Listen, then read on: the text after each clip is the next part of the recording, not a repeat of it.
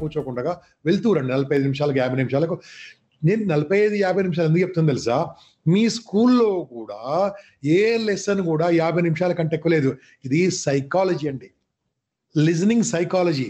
ప్రపంచవ్యాప్తంగా ఎందుకు ఏ క్లాస్ అయినా సరే యాభై నిమిషాలు ఉంటుందంటే మనము reception level forty five to fifty minutes ఉంటుంది. తర్వాత we need a break again again one more class we need a break one more class అందుకని మీ క్లాస్కు టీచర్ రాగానే ఏం చేస్తారు తెలుసా?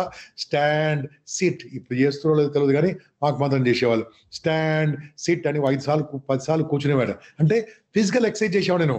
Again your ready for next lesson your ready for next class ఆ రకంగా చేసేవాళ్ళు కాబట్టి ఇప్పుడు అది ఇంట్లో క్లాస్లో చెప్పడానికి ఎవరు లేరు కాబట్టి మీరే ఎక్సర్సైజ్ చేయండి. మీరు ఇంట్లోకి వెళ్ళండి.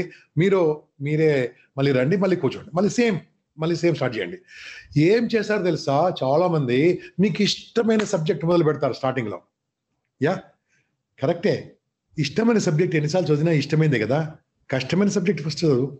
కష్టమైంది ఏంది? నీకేముందో నాకు తెలియదు హిందీ కావచ్చు ఆర్ ఇంగ్లీష్ కావచ్చు ఆర్ తెలుగు కావచ్చు. మిగతా మూడుది చాలా ఈజీ అండి. ఏదది? Science plus social plus maths ఇవన్నీ చాలా ఈజీ చాలా చాలా ఈజీ. ఓకే.